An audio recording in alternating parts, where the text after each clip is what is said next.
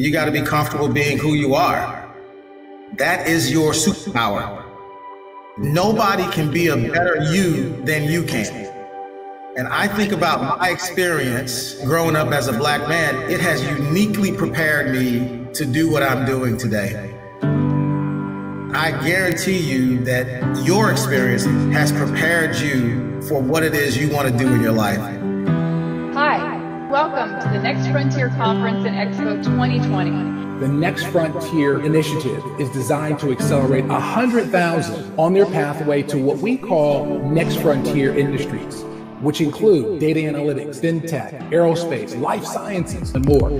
And the way we do that is to provide you with access, awareness, and belief.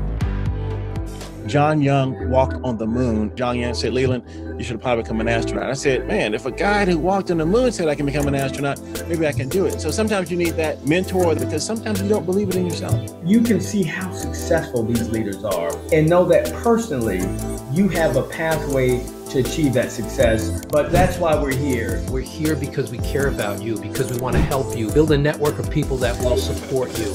We are your network.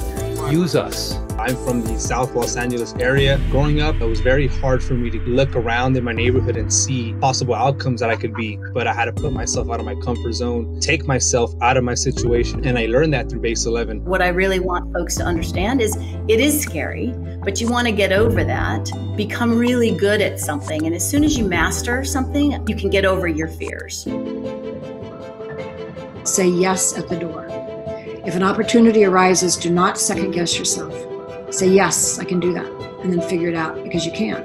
When I look in the mirror, I see strength, I see determination, and I see exactly what an engineer is, despite what I look like. Get built up so you never have to worry about being puffed up. By built up, I mean getting that early foundation in knowledge, work hard every day, come correct in the rain and the shine. We can all come correct in the shine. You are a person of character when you can still come correct and smile in the rain. If you focus this time on getting built up in STEM, you will never ever have to worry about being puffed up. Personally, there's no benefit in being successful if you can't help other people. Right. Success to me, it's really about helping people, it's about giving back. And I've been blessed to achieve a level of success, but not for myself. It's really so that I can have an impact on other people's lives. And that's what I try to do every single day.